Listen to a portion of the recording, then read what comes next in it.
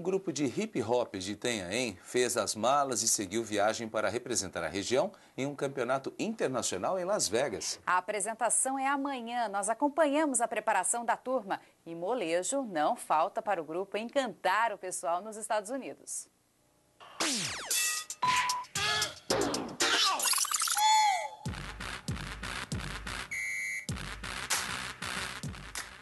Casa da Música de Itanhaém serviu de palco para o grupo acertar os últimos detalhes da coreografia.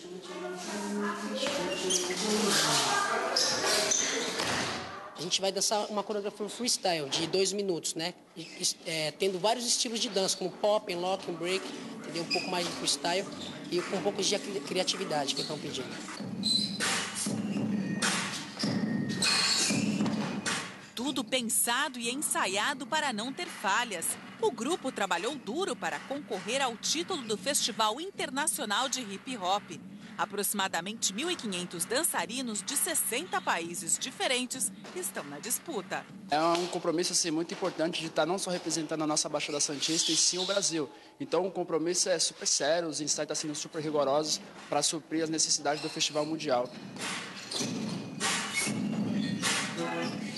Alex e Camila são irmãos, treinam juntos há sete anos e esperam levar para o palco o entrosamento da família.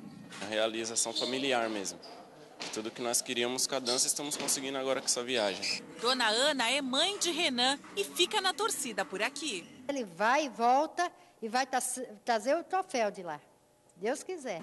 O Action Dance participou de diversos campeonatos e ganhou muitos títulos. A gente tem um título em, na Argentina, de melhor grupo da América Latina. Temos de Curitiba, o terceiro melhor do Brasil. Conquistas que dão confiança e esperança de voltar dos Estados Unidos com o troféu mais importante do grupo. Itanhaém é a pedra que canta em Tupi. Hoje Itanhaém, além de cantar, ela dança. Ela já está em Las Vegas dançando. Brasil!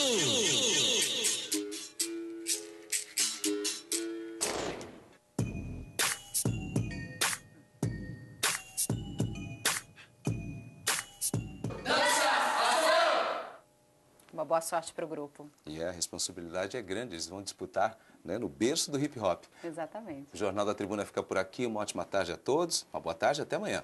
Boa tarde para você.